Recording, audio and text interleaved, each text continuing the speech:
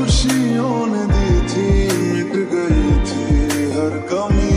क्यों बेवजह दिए सजा क्यों ख्वाब देखे बोले गया। जो हम लगे सितम, अजाब ऐसे